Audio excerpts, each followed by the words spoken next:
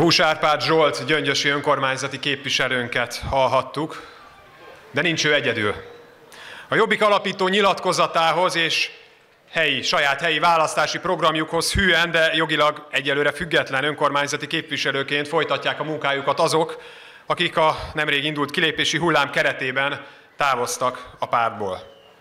Sokan viszont várják még szakításukkal az, hogy lesz-e itt egy új párt, amelyben ma itt döntést kell hozzunk. Eddig 51 önkormányzati mandátumot vesztett el a Jobbik. Ugyanis Torockai László Ásodhalom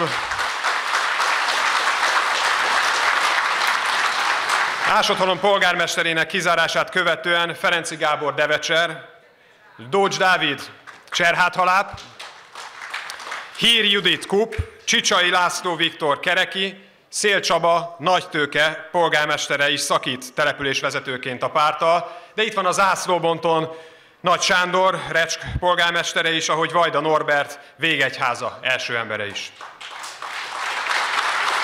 Sokan fontolgatják még csatlakozásukat, hiszen a lélekkufárkodás, a túltolt néppártosodás miatt a megyei közgyűlésekben is elindult a kilépési hullám. Árgyelán János, Fejér megye frakcióvezetője, Császárné Kollár tíme a Pest, Dudás Zoltán Csongrád, Havasiné Molnár Erzsébet Nógrád, Orbán Imre Veszprém, Pasztornicski István Borsodabau Zemplén, Polonyi Zsolt Komárom Esztergon, Sebestyén Éva Fejér, Székely Zoltán Fejér, Smik Lajos Győr Moson Sopron, Szőcs Norbert Baranya, Torockai László, mint Csongrád megye, képviselője is, és Zentai Plajner Zsolt is Komárom Esztergom megyei közgyűlési képviselőként kilépett a pártból. Nem mindenki veri azonban nagy, dömbre, nagy dobra a döntését. Sokan egyfajta gyászként, egyfajta szégyenként élik meg, pedig nem az ő, nem a mi szégyenünk ez. A néppártosodási fundamentalizmus szégyene, amely miatt a települési önkormányzati képviselők közül is sokan távoztak a pártból, hadd soroljon fel őket is, mert megérdemlik, ha már becsületbeli ügyként vállalták ezt az erkölcsileg azt gondolom, hogy helyes lépést, a kilépést.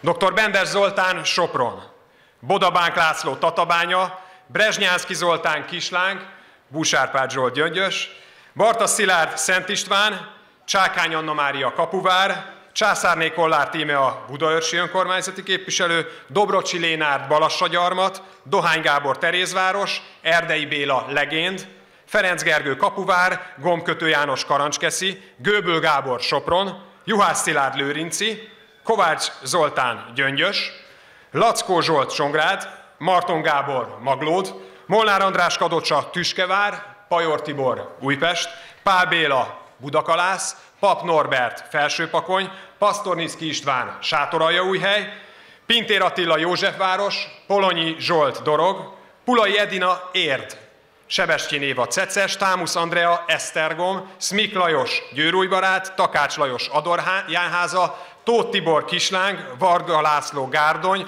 és Varga Zoltán Soponya településének önkormányzati képviselője az, aki már bejelentette szakítását a párttal, de sokan csak még most készítik elő döntésüket, egyeztetik más jobbikosokkal, hogy együtt lépjenek, akár teljes frakcióként, vagy épp megvárják vele egy új párt megalakulását.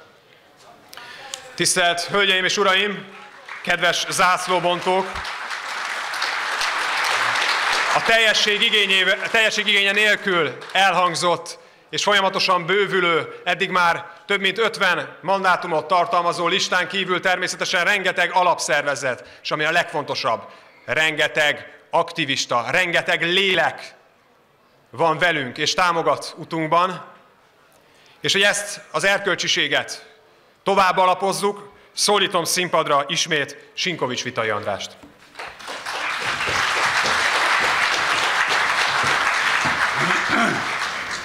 Mit és Somogyvári Gyuladiák, magyar miatyák.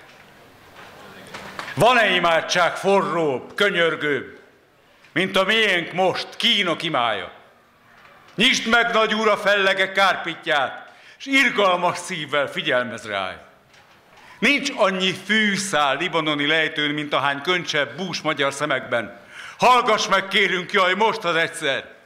mi atyánk, ki vagy a mennyekben. Könyörgünk, néz ránk, hisz az nem lehet, hogy sírószóval pusztába kiáltunk. Sok volt a vétkünk, nagy büszkeségünk, felhőkig járt az álmodásunk, de most bánattól gyötröttem mondjuk, szenteltessék meg a te neved. Ugye nem szórod szét ezt a népet bújdosónak a nagyvilágba, hiszen te hoztad Ázsiából, s verted, de védted a pusztulástól ezer évig. Mondd csak hiába. Voltunk a véres védőbástyán, s voltunk villámló ostorod. Tégy velünk, ahogy megérdemeljük. Legyen meg a te akaratod. Küld a szívünkbe a szerelmes békét, és küld az erőt a rossz karunkba. Küldj halk esőt a földjeinkre, s legyen gondod a barmainkra. Önts enyhülést a lelkek tüzére, s ha tudsz, szeres, ha kell, fenyíts, csak legyen béke, boldog megértés, miként a mennyben, úgy a földön is. Nézd, éhezünk, rongyokba járunk, nincsen koldusabb néped, mi nálunk. Nézzed a gyermek éhező száját, asszonyainknak bús kálváriáját. Ha te nem segítesz, elveszünk. Ó, add meg hát a napi kenyerünk. Nagy úr, vétekkel igaz, megrakódtunk, Gőgösek köz bizony elsők voltunk, de most a házunk hanva van fejünkön, s a bűnbánat megtépte köntösünket, Isten, Istenes szerelemmel, bocsásd meg a mi vétkeinket. Minket megvertél, Magyar Isten, és megverted az őseinket. De fiainknak minden más nép bocsássa meg a pályvétkét, sok számolatlan számadásunk, miképpen mi is megbocsátunk a mi ellenünk védkezőknek. Torkunk rekett a rimánkodástól. Az ős magyar föld merülő gája, Jaj, tedd a szent kezed föléje, oltalmazzad meg, vigyázz rája, és ne vigy minket a kísértésbe. A tenyereden, Isten apánk, hordod az ember milliókat.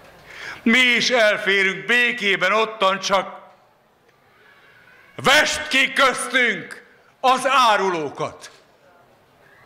Nem kell minékünk más hódolása, és nem vágyik a magyar sehová sem csak engedj élni, tüzekbe nézni, tilinkó szónál mesét mesézni, és szabadíts meg a gonosztól. Ámen.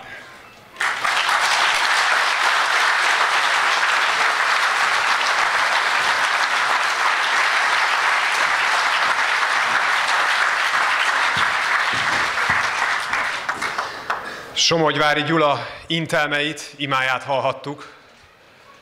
Ő a legkedvesebb írója, költője egy országgyűlési képviselőnek, aki pedig az én legkedvesebb képviselőtársam volt. Dúró Dóra következik.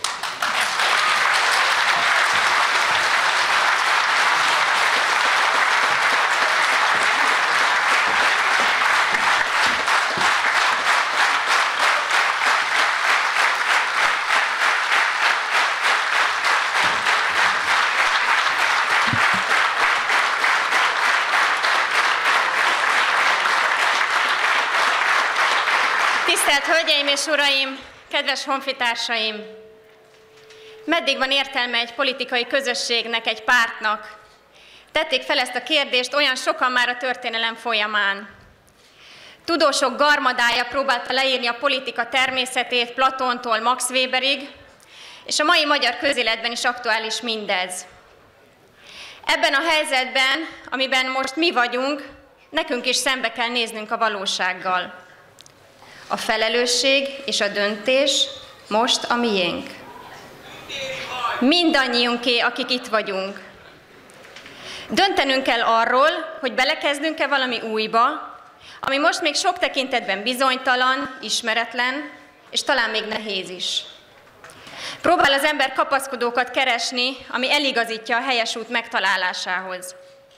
Segítségül hívom Winston Churchill egyik gondolatát, miszerint a bátorságot joggal tartják az első számú emberi tulajdonságnak. Ez az, ami lehetővé teszi az összes többit. Mindig, ha az életben nehéz helyzetbe kerülök, hogyha nem tudok dönteni, ez az, ami a szemem előtt lebeg. Ha nem tudom, hogy mi lesz a következménye annak, ha az egyik vagy a másik megoldás mellett teszem le a voksom. Ilyenkor mindig azt kell választani, amihez több bátorság kell. Ahogy a nemzet sportolója Balcó András is mondta, a lényeg, úgy kell versenyezni, hogy a végén bármivel vádolhassa magát az ember, csak azzal ne, hogy gyáva volt. Közös értékrendünk mellett emiatt hoztam meg azt a döntést, hogy elindulok Torockai László elnök helyetteseként.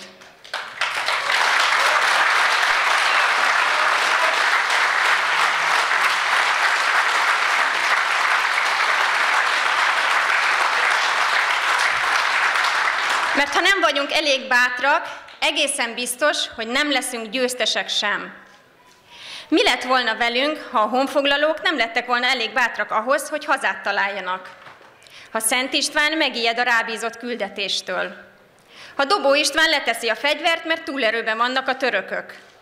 Ha Petőfi generációja ágyban párnák közt akart volna meghalni? Ha 56-ban nem küzdöttek volna a pesti srácok a szovjet tankok láttán? Ma valószínűleg nem lenne itt ez, a mi hazánk. De ha nem vagyunk elég bátrak, nem tudunk gyarapodni sem. Az előrelépéshez bátorságra van szükségünk a hétköznapjainkban is. A párkapcsolatunkban, a gyereknevelésben, a munkánkban, a sportban, az egészségünk megőrzésében, a kultúránkban. Akkor pont a politika lenne kivétel? Alig, ha gondolom. Olyan közösséget szeretnénk építeni, amely nemzetstratégiai kérdéseket semmilyen körülmények között nem rendel alá politikai taktikázgatásnak.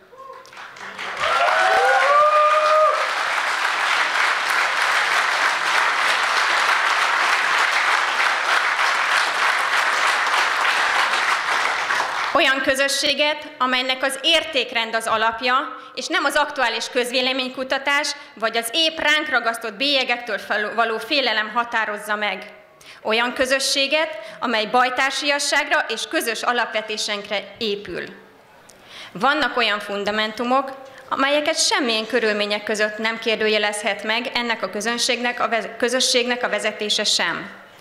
Nem mondhatja majd évtizedek múlva, hogy igazából mi nem azok voltunk, akiknek láttattuk magunkat, hogy ami ezekben az években ment, az nem volt igaz. Vagy hogy az kamaszkori tévejgés volt, és a pártunk igazából még el se döntötte, hogy fiú vagy lány. Nem félünk tehát, nem félünk tehát a kommunizmussal való szembenézéstől, nem félünk szókomondóan beszélni nem félünk szókimondóan beszélni a demográfiai katasztrófáról, a magyarság és a cigányság között fennálló feszültségről, és arról, hogy az Európai Unió valójában gyarmatosít minket.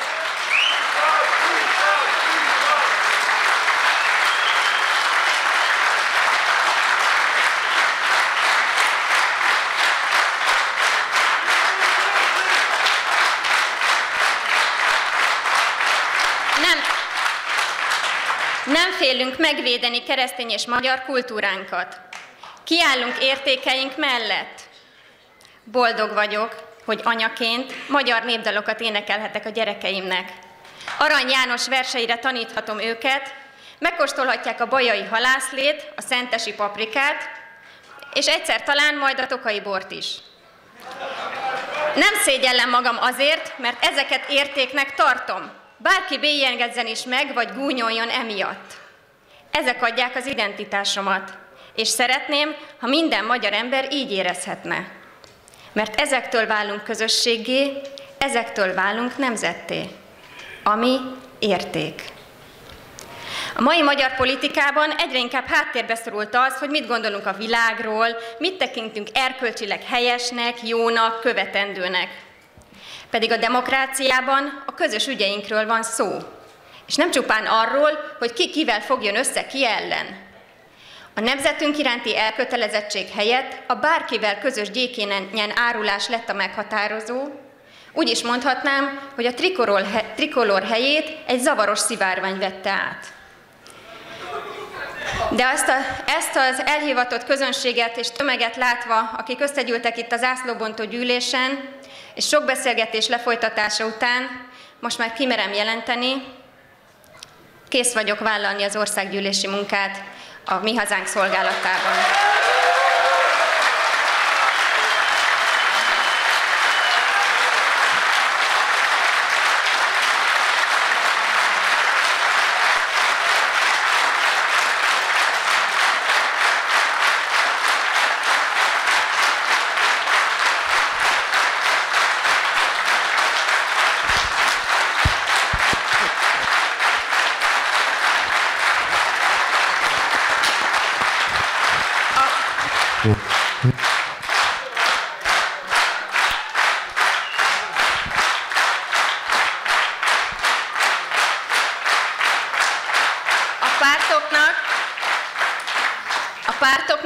Azért kell létrejönniük és működniük, hogy a saját meggyőződésük alapján kínáljanak megoldást, programot a választóknak.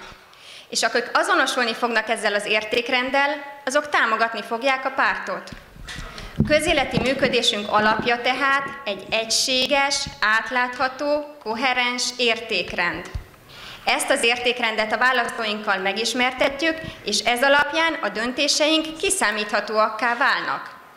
Nem más pártok viszonylatában kell tehát értelmezni magunkat, nem a Fideszhez vagy Orbán Viktorhoz képest kell meghatároznunk magunkat és a céljainkat, hanem egy olyan erkölcsi mérce alapján, amely független attól, hogy éppen mit csinál Magyarországon a többi párt vagy a közélet bármely más szereplője.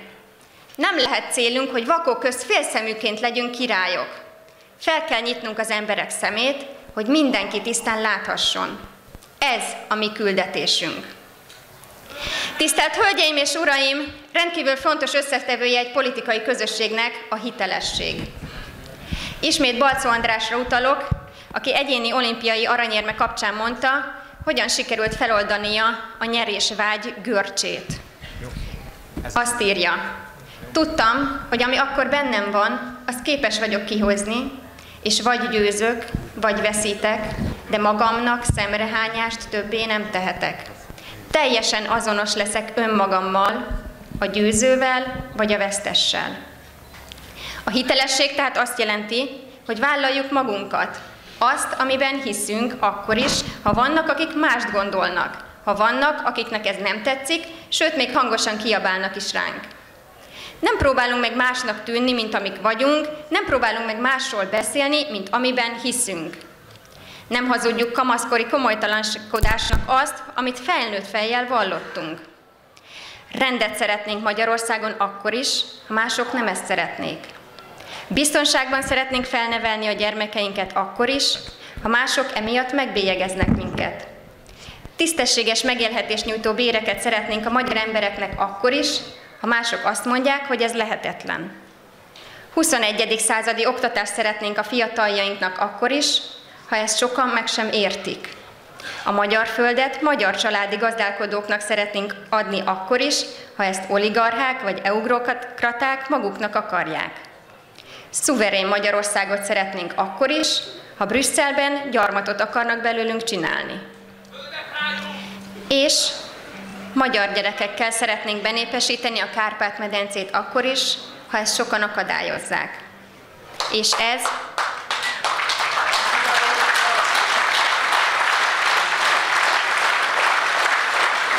És, és ez a legfontosabb kérdés. Nem egy fontos kérdés, hanem a legfontosabb. Mert minden hiába, ha nincs elég magyar gyermek. Ez a 21. század legfőbb kihívása.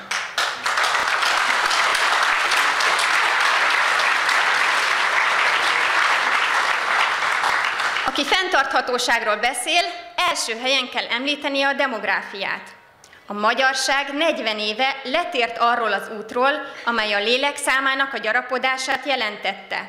1980 óta évről évre kevesebb magyar él hazánkban, a Kárpát-medencében, a világban, és ez az elmúlt esztendőkben sem történt másképp, a radikális változás még várat magára. Mindennek okait, összetevőit, miértjeit meg kell értenünk, és mindenkinek, aki felelősséggel vesz részt a közéletben, tudnia kell válaszokat adni mindenre. Aki ezt elhallgatja, aki elvitatja a jelentőségét, aki háttérbe szorítja ezt a szempontot, az árt a magyarságnak. Kedves hölgyek és urak, kérem, hogy a közéleti szempontok mellett engedjék meg, hogy egy személyesebb hangvételnek is teret adjak ebben a beszédben, hiszen nem csak politikai következményei vannak annak, amin keresztül mentünk. Nem szeretném itt most részletesen elemezni, hogy mi történt az elmúlt két évben, vagy akár az elmúlt egy hónapban. Talán ez mindannyiunk számára világos, akik itt vagyunk. Egyúttal most már szeretnék a jövőbe tekinteni. De mindannak, ami történt, nem csak politikai jelentősége van, hanem emberi is. Az a közösség, aminek a tagjai voltunk, egy baráti közösség volt. Túl azon, hogy közéleti szerepet vállaltunk, mi vált, válnak vetvet küzdöttünk a közös célokért. Ha egyikünk hibázott, a másik kisegítette. Amikor egyikünknek nehezebb volt, a közösség támogatta. Bíztunk egymásban, barátokat találtunk, közös élményeink voltak. És mindez rövid idő alatt porba hult. Eltűnt. Semmi lett. Lélektelenné vált, kiüresedett.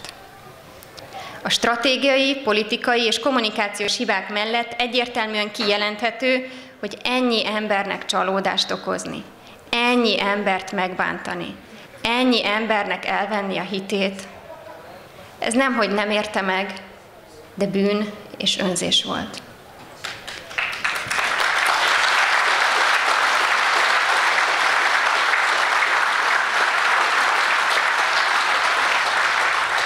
Érthető és természetes, hogy ez megviseli az embert. Engem is megvisel. A mi utunk most nehéz, emberpróbáló, és sokszor lesz még kényelmetlen. Ám erejét a hit és a bajtársiasság adja, ezért sikerre van ítélve. Ezekből az értékekből táplálkozik, ez az, ami napról napra nagyobbá és erősebbé teszi. Ez az, ami legyőz minden akadályt, a kishitűséget, a kételkedést, és megmutatja az utat. Az utat, ami tiszta, igaz és őszinte. Ez lesz a mi hazánk útja. Köszönöm, hogy meghallgattak.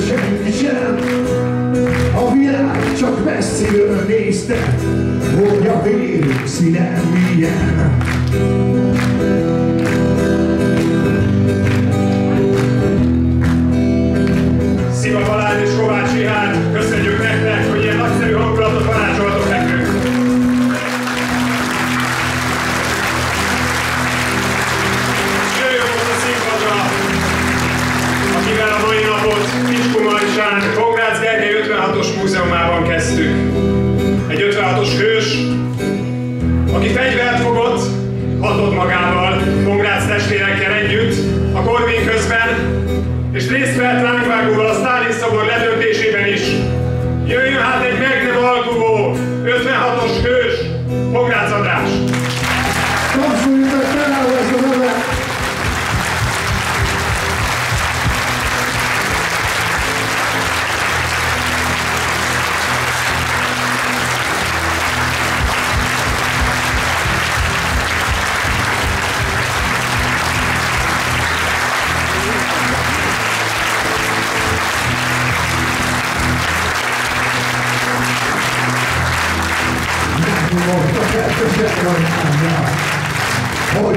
Maria kom. Kastvolta kakkotta rasva. Missä piirre, sua tuita sok. Ihmisen standard minkä. Siittuoda rammutääliset. Öfäävä kertoo, lähjää kuuletmo. Virki juomlään, itilänet. Hjälpää siltä hulmiin. Raviaan, vetletään. De visszatér újjászületve, mint az, mit hívs már, nemzettel együtt, előre, mint testi srácok, előre, mint egy kivaló, zászló dobogjon, a barikádon, éges hazánkért túl hajnalon.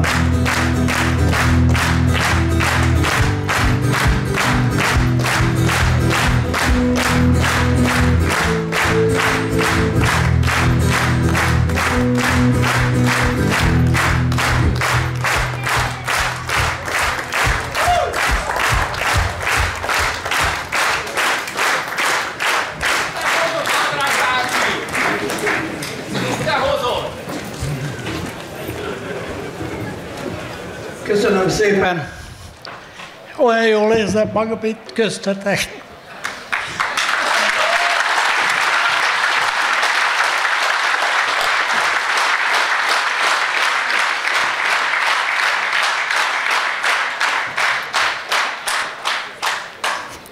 Talán emlékeztek, Gergely is ilyen érzékeny volt.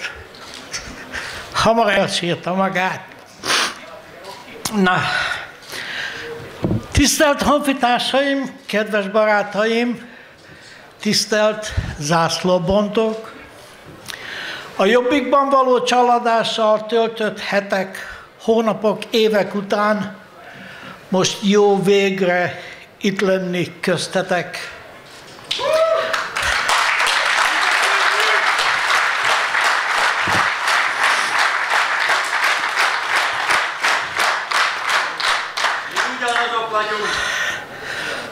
Tovább kell lépjünk a jobbik lélekvesztése után. Tolszkai Lászlóval együtt felkértem Dórodórát, hogy semmilyen körülmények között ne mondjon le képviselői mandátumáról.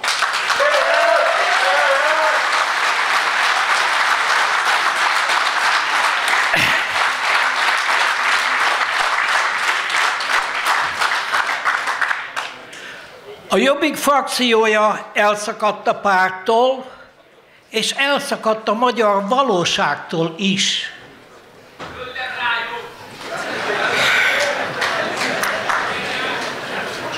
Durodóra frakcióból való kizárását semmi nem indokolta. Az egy koncepciós, jogtalan el, eljárás volt, Tiszta kommunizmus. Kommunizmus!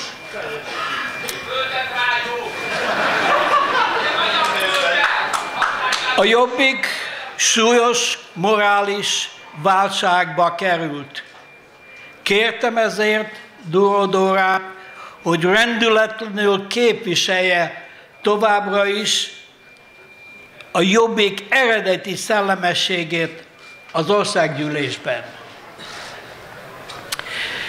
Ellenben azt javasoltam, hogy a jobbikos képviselői eskü megszegése miatt mondjon le a mandátumáról az a Gyöngyösi Márton frakcióvezető, aki a kizárás kezdeményezésével pártszakadást és a jobbik végzetét idézte elő.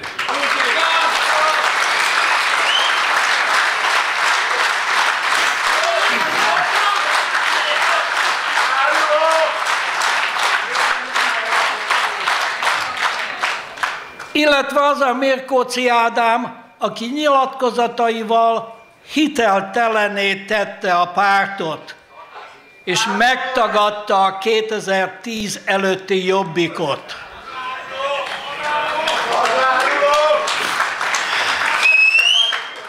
Mivé lett ez a párt? MSZP-seket vitt be képviselőként az országgyűlésbe, mára pedig törölte programjából a szabadságtéri kommunista önkényuralmi emlékmű eltávolításának szükségességét is. Mert a baloldalnak tett gesztusok fontos, fontosabbá váltak, mint régi alapelvek a Jobbikban. Felszólítottam a Jobbik vezetőit, hogy ne hivatkozzanak a jövőben bátyámra, Pongász Gergelyre, mert méltatlanná váltak hozzá.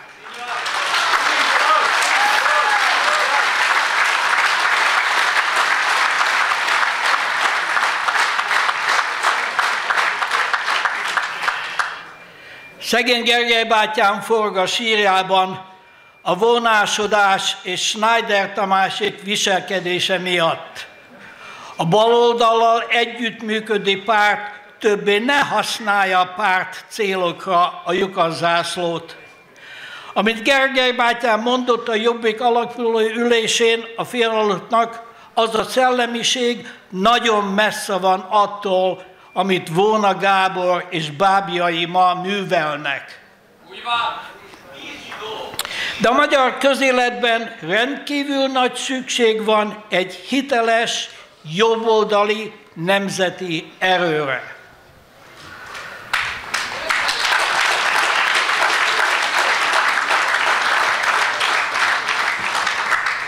Köszönöm ezért a pártból kilépő lelkiismerőkre hallgató régi jobbikosoknak az erkölcsi példamutatását. Nem lehet könnyű a szakítás. Becsülöm bátorságotokat, hogy nem féltek egy új párt nehéznek tűnő, de tisztességes útjától.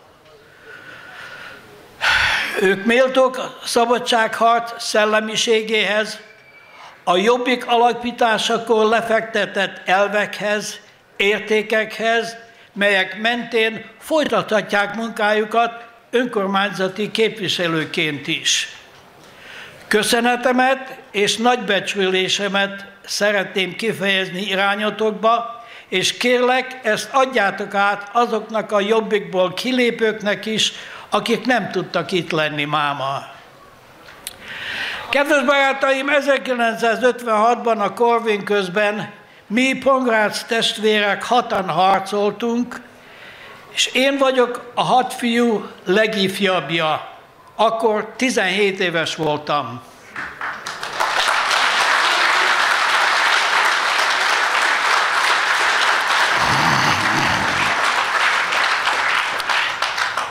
Gergely bátyámról sokat tudtok, de ugyanakkor Ernő bátyám a parlamentnél volt, ő vitte be Nagy Imrét a parlamentbe, és kérte, hogy szóljon a tömeghez, amelyik összegyűlt ott október 23-án este. Ernő kért egy magyar zászlót, hogy kivigye az ablakba, de nem találtak egy olyan magyar zászlót a parlamentben, amelyiknek a közepén ne lett volna a kommunista jel. Hát Ernő bátyám fogta a bicskáját és kivágta azt. Így született az első lyukas zászló.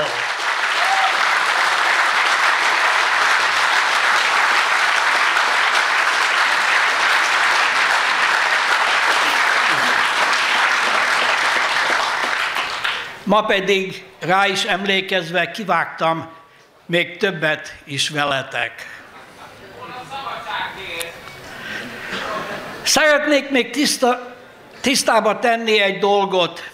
Egy kitűnő bátor hazafi, Budaházi György felvetése nyomán néhány hónapja komoly vita indult, hogy az elmúlt évtizedeknek valóban a legjobb miniszterelnöke-e Orbán Viktor. Azt gondolom, bizony lehet hibát találni az ő kormányzásában is, bőven, de nála csak rosszabb volt. Gyurcsány Ferenctől, Megyisi Péteren át, Hon Gyuláig, rosszabbnál rosszabbak közül lehetett választani eddig. És senki se tudja, mit művelt volna kormányon volna Gábor.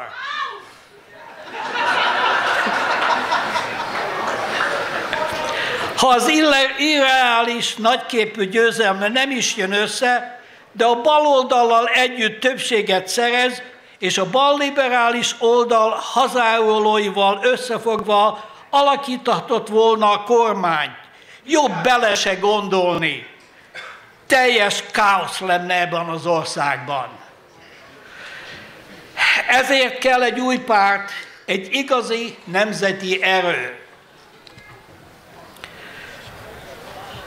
Köszönöm ezért a pártból kilépő, kilépő lelkiismeretükre hallgató régi jobbisoknak az erkölcsi példamutatást. Nem lehet könnyű, betűlöm bátorságotokat.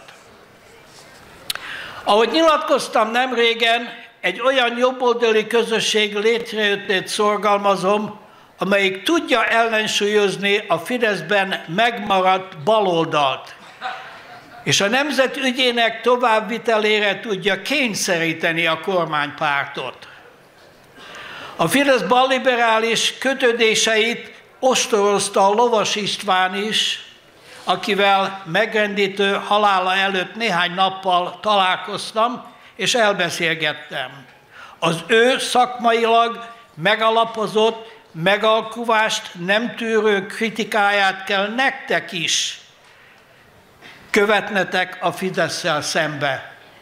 És konstruktív partnerként most a nemzet ügyében támogatóként egyenlőre Dóró Dóra képviselősége, képviselősége által a parlamentben. De lesznek még az országgyűlésben jóval többen is. Csak ne feledjétek soha, amit sokan elfelejtettek az elmúlt években, ne azt nézzétek, ki fogalmaz meg egy javaslatot, hanem azt, hogy a magyarság érdekeit szolgálja el.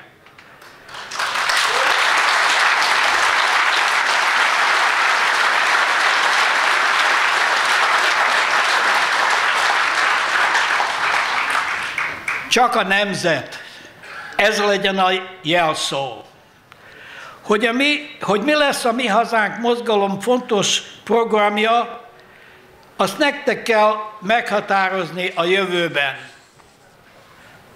És az úgynevezett rendszerváltás mulasztásait és az egész magyarság boldogulását szem előtt tartva határainkon innést és túl.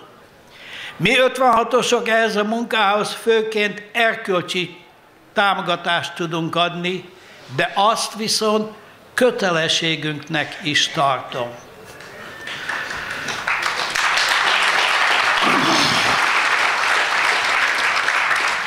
Novák előtt barátommal ezért is indítottuk el múlt héten a Lyukas zászló adományozási missziót önkormányzatoknak és civil szervezetek részére, hogy a nemzeti függetlenség és önrendelkezés eszméje nagyobb megbecsülést kapjon.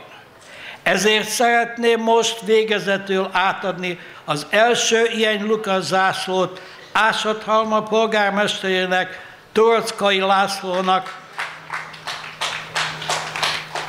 aki a 2006-os események meghatározó hiteles mozgalmi vezetőjeként is kiérdemelte azt, és mostantól a Mi Hazánk mozgalom vezetőjeként kell tovább vigye ezt a szent lobogot.